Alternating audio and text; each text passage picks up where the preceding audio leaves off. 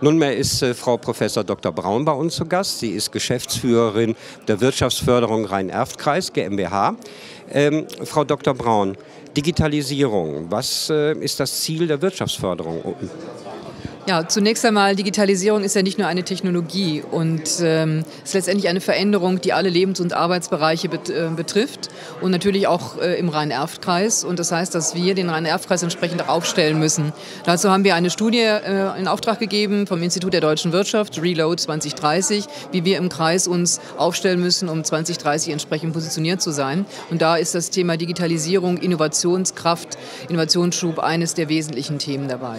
Das heißt für uns, wie zum Beispiel es auch heute im Rahmen dieser Veranstaltung, die mit weit über 100 Leuten also sehr gut besucht worden ist, zeigt auch den Bedarf, der da ist, äh, die Menschen zu sensibilisieren, aber auch die Angst zu nehmen und zu zeigen, welche Chancen es gibt für die Digitalisierung und zwar für die kleinen Unternehmen, also kleine Handwerksbetriebe bis hin zu Großunternehmen, dass jeder also letztendlich von dieser Thematik, äh, von diesen Veränderungen auch positiv partizipieren kann, sich einbringen kann und letztendlich auch keine Angst davor haben muss.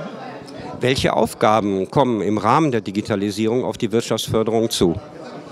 Äh, verschiedene Aufgaben, zumal das äh, eine Thema ist Breitband. Wir müssen also weiter dafür sorgen, dass die Breitbandentwicklung, die im Rhein-Erf-Kreis schon sehr gut ausgeprägt ist, noch weiter fortgeschritten wird. Also da müssen wir auch entsprechend mit den Anbietern äh, diskutieren.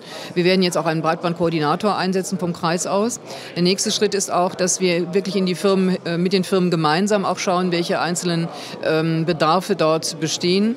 Ähm, nicht branchenspezifisch, sondern ich glaube, das ist ja auch ein Thema der Digitalisierung, dass man übergreifend, also vernetzt über die verschiedenen Branchen Branchen ähm, miteinander diskutieren kann, sodass also ein Handwerksbetrieb mit einem Industriebetrieb also zusammenarbeitet, ein Dienstleister äh, mit, auch mit dem Handwerksbetrieb und so weiter, dass also da die Dinge vernetzen.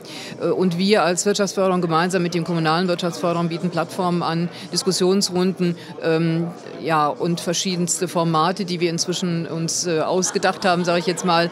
Ähm, aber wir suchen, und das ist für uns ganz wichtig, immer wieder das enge Gespräch mit der Wirtschaft, sodass wir nicht im stillen Kämmerlein entscheiden, sondern die Akteure, die Betroffenen Betroffenen ähm, mitnehmen und gemeinsam dann auch entsprechende Konzepte und Formate entwickeln. Herzlichen Dank, Frau Dr. Braun.